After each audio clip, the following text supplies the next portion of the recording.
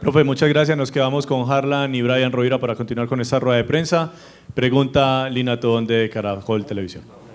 Muy bien, buenas noches. Eh, quisiera preguntarle a los jugadores, ya que no se le puede preguntar al profe, eh, en cuanto al arbitraje.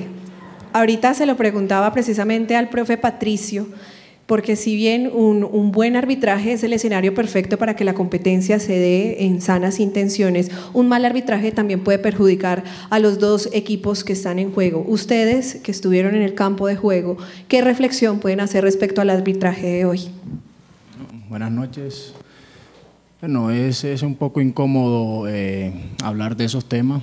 Como muy bien lo dice, uno se sale del foco eh, en ese momento de la calentura por por esas decisiones y hoy lo vimos, eh, reaccionamos, pero bueno, son cosas del partido, son calenturas y bueno, eh, analizar y, ver qué ocasión, qué ocasión ocasiona eso, porque si bien lo vemos, eh, todo se va y se basa en, una falta que, bueno, por ahí ya ellos analizarán, pero, pero son cosas que, que es mejor no tocar.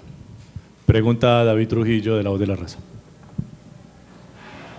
Brian Harlan, buenas noches les pregunto, Santa Fe por momentos estuvo encima, si bien ustedes siempre estuvieron adelante en el marcador, ¿cómo sortear con un equipo, se quedan con 10 hombres, ellos con 11 presionaban, tiraban centros, para Brian fue difícil también contener esa parte, y para Harlan tal vez es un poco más fácil salir al ataque y esos contragolpes que en una jugada terminó en el penalti del tercer gol.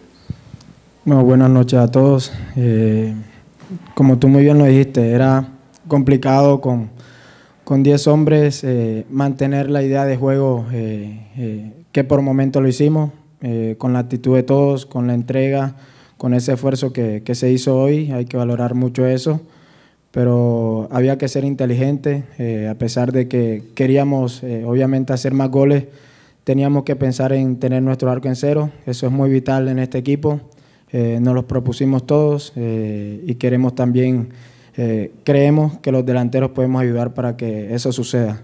Eh, ya cuando eh, el profe nos pide transiciones rápidas con, con, Vladimir conmigo y uno de los, de los volantes, el, que, el que estuviera cerca, era hacer la, la, lo mejor posible. En, su momento le tocó a Daniel, le hicieron el penal, que, que creo que hizo un, un gran trabajo y, ya llegó el tercer gol. José Luis Alarcón de Sport. Ah, sí, bueno, muchachos, hola, ¿qué tal? Un abrazo grande. Eh, bueno, yo creo que más que comentar cómo le fue en el partido, yo creo que el profe Pompilio ya hizo la precisión. A Harlan le quiero tocar un tema y es que a pesar que el proceso Juan Carlos Osorio Pompilio Páez tiene la temática de la rotación, vemos que usted hace una constante en los partidos. ¿Cómo se ha sentido justamente en esa fórmula de juego? Porque hoy vimos haciendo pareja con Vladimir, eh, en el partido ante, el Atlético Bucaramanga eh, con, con Cepelini, y esos engranes, independientemente cuál sea el jugador, hacen que usted los conecte y los pone a jugar a todos. Es que me gustaría que hiciera una observación del cómo se siente usted jugando precisamente independientemente del hombre que está al lado suyo. Y hoy para Brian Rovira tuvo eh, mucho tiempo de para, tuvo una lesión bastante larga y me gustaría que me hablara de la parte física, de cómo fue el acondicionamiento, porque cuando usted ingresó, si bien estaban superados numéricamente, se generó como una especie de balance a pesar de que Independiente de Santa Fe tenía ese hombre de más. Bueno, en ese punto eh, eh, es importante, ¿no?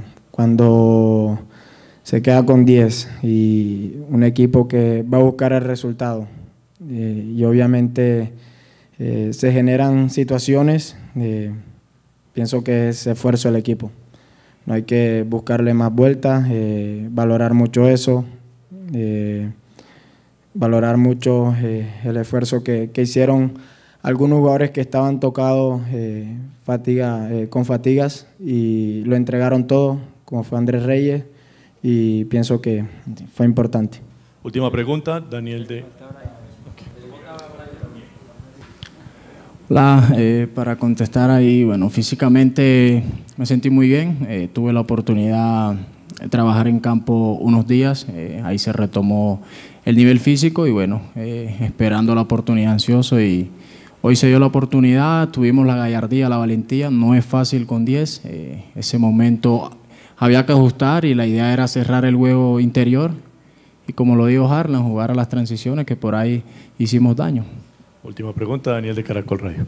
Muchachos, buenas noches. Eh, la misma pregunta para Harlan y para Brian. Atlético Nacional en estos tres partidos ha sido un equipo equilibrado. Ha hecho cinco goles y solo le han marcado uno. En la parte ofensiva, precisamente para Harlan, ¿cuál es el énfasis que se ha hecho? Y Brian, en la parte, por lo menos en la fase ofensiva, ¿cuál ha sido el énfasis precisamente para mantener ese equilibrio? Bueno, eh, los entrenos trabajamos eh, de toda clase eh, de, escenarios. Eh, por su momento no trabajamos ese momento cuando nos quedamos con 10, pero en defensa y ataque lo trabajamos siempre, todos nos conocemos, hay una competencia muy sana, sabemos la calidad que tienen todos los jugadores de Nacional, lo han demostrado en estos tres partidos que, que haciendo un balance ha sido muy, muy bueno, muy, muy satisfactorio y eso es de, de, de seguir subiendo. nos dijimos entre todos que eh, se hicieron buenos partidos anteriormente, pero de aquí hay que ir para arriba. No podemos bajar eh, eh, porque esto comienza y falta eh, mucho camino por recorrer. Bueno, así para seguir la idea de, mi compañero Harlan, él, él, muy, muy bien lo ha dicho. Hemos trabajado muchas variantes, muchas triangulaciones en la zona ofensiva esa zona 14 para nosotros es muy importante y, y cada día nos vamos afianzando más a la idea de juego que, que, queremos. Y en la zona defensiva, es más con el profe Páez, eh, es muy detallista en, en, todo, en todo tipo de los conceptos y, y cada día le vamos aprendiendo más. Gracias Brian, gracias Harlan, gracias Pompilio, profe Pompilio. Feliz noche para todos.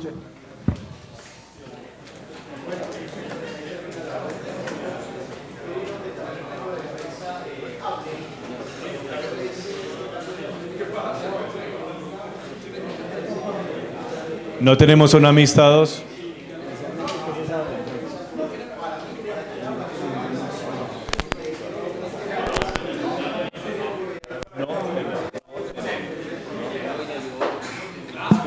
Y rueda de prensa en Guarno el viernes.